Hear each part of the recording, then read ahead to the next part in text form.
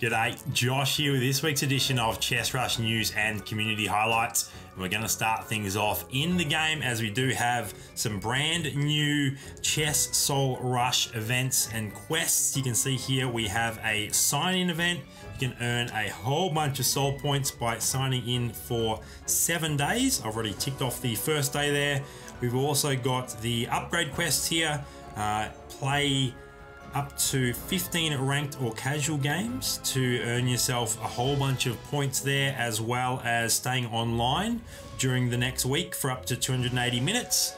And the one that I've already completed down the bottom, the Elite Quest here, this is a variety of certain different quests, including increase max capacity to 10, so get to level 10 in the game, uh, purchase a couple of legendary heroes in a single game, get a 5 win streak, complete three combos and survive over 20 rounds. That one, you get 500 points for each of those. So lots of ways to earn more chess soul points that if you haven't already reached level 100, that will certainly help you get a lot closer to it. Then this week, we also had a new patch uh, we have the new events that we just touched on there. We also have the ability to invite guild members directly from the friends pop out here. You can now go, you got friends, you got recent, and you can also go for the guild members that may not be in your friends list there. You can see the ones that are online super easily. And finally, a display issue that affected the Thai version of the game was fixed. So that is fantastic news as well. Then we move on to this week's version of Ask the Devs. The first question, can you adjust the speed when heroes cast skills? Sometimes your hero has full mana and the spell is not on cooldown, but the hero still needs two normal attacks before casting the skill. Uh, the answer being it's quite a good and complicated question. Mana and skill cooldown times are two crucial parts that control uh, when the skill releases or triggers. Some heroes are impacted mainly by the cooldown time and some mainly by mana regen or regain speed. Uh, the differences each year, the differences to each hero will be unique and will require more strategic thinking uh, in terms of placing the items that you choose to place on each hero. Uh, and we're also, a little uh, note here at the end here, we're also testing more items in Treasure Raiders.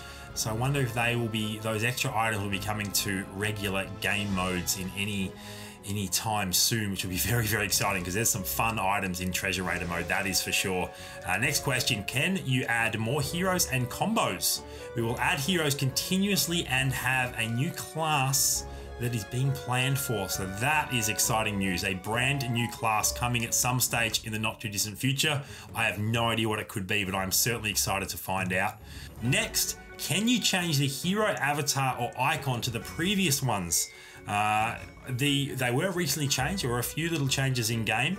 Uh, and it's taken me a little bit to wrap my head around the new icons, but I actually like them now. The hero icons, now that I uh, have learned what hero matches each icon, I do think that the new icons personally look a little bit better. Uh, the next question, can you add a tab that shows the guild members connected for easier teaming up? Well, of course, we just saw that patch hit and we have that, so that is fantastic. Next up, are you planning something for Totem Face or was it removed forever? The answer being we are work, doing a rework on Totem Face. If it goes well, then he'll be respected in his village once again, as he certainly was, uh, basically he was a village idiot in terms of how frequently he was used. He wasn't very popular, that's for sure. Uh, next question, is there any chance we can get a ranked system with Treasure Raider mode, which would be awesome? Uh, is there anything exciting down the road for the guild system? Anything our wallets need to fear in the near future? Uh, really could use something else to spend on in the game. So that's a multi-part question. Uh, Treasure Raider will not be a ranked mode anytime soon, but Guild Wars are in production and a whole new class of characters are coming soon.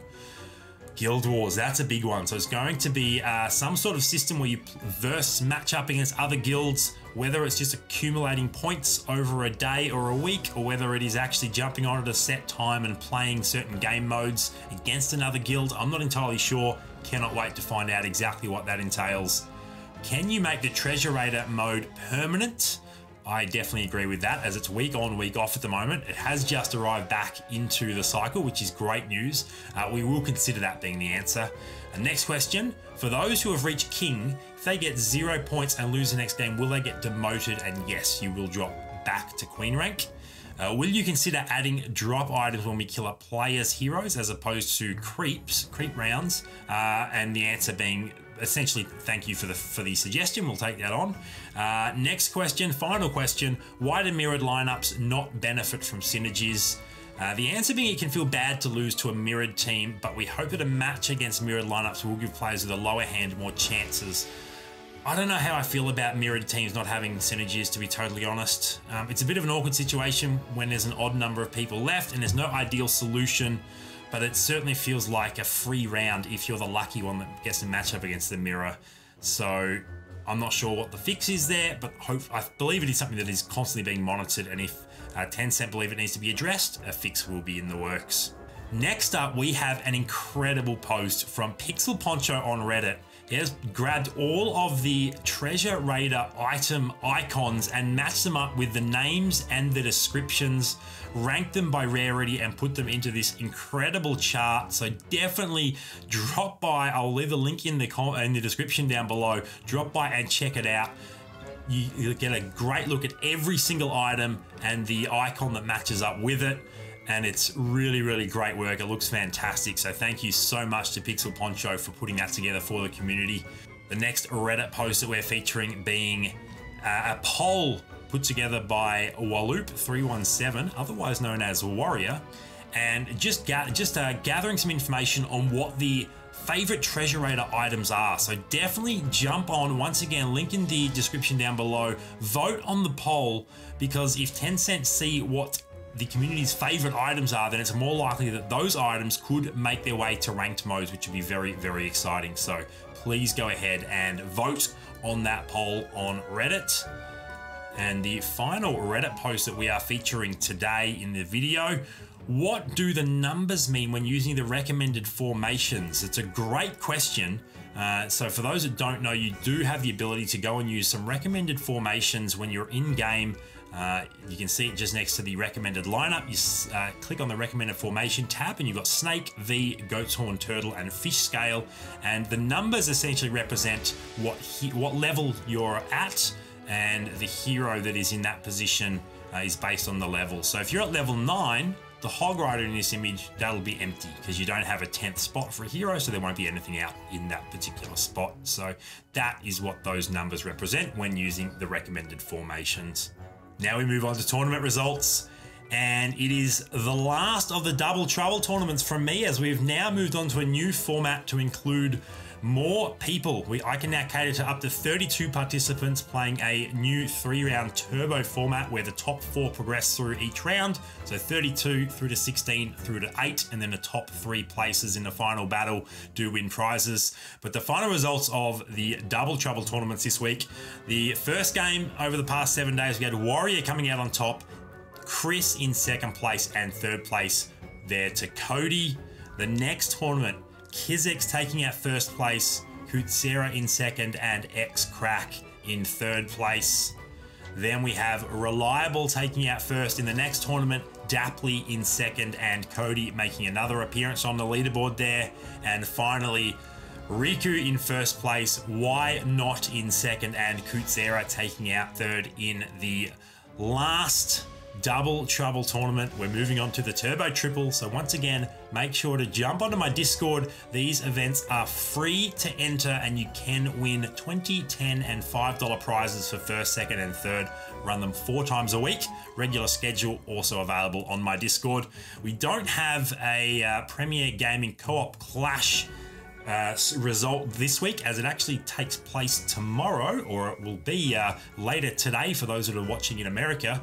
Uh, the the news video last week was a day late, which is why the Premiere Gaming results that would have been this week actually made it into last week's video. So keep an eye out for Premiere Gaming Co-op Clash results next week. Now that I'm back on my regular schedule in terms of the day that I release this video on, and of course the Premiere Gaming Discord is linked down below for those of you that would like to sign up for future co-op clashes. Make sure to go ahead and do that. Now we move on to a brand new segment, which is essentially a pro tip, just a 30 to 60 second uh, segment where someone that uh, knows what they're doing, quite a high rank, uh, well known within the community, just provides a little bit of uh, insight or feedback or valuable information on a specific topic that is useful to the community. And this week we have Chaos Seraph talking about Nightingale. Uh, she's a very strong T1 unit that is super useful in a variety of builds and has a very underrated ability that uh, perhaps people overlook. So here is Chaos Seraph talking about Nightingale and how to best use her, especially in the late game.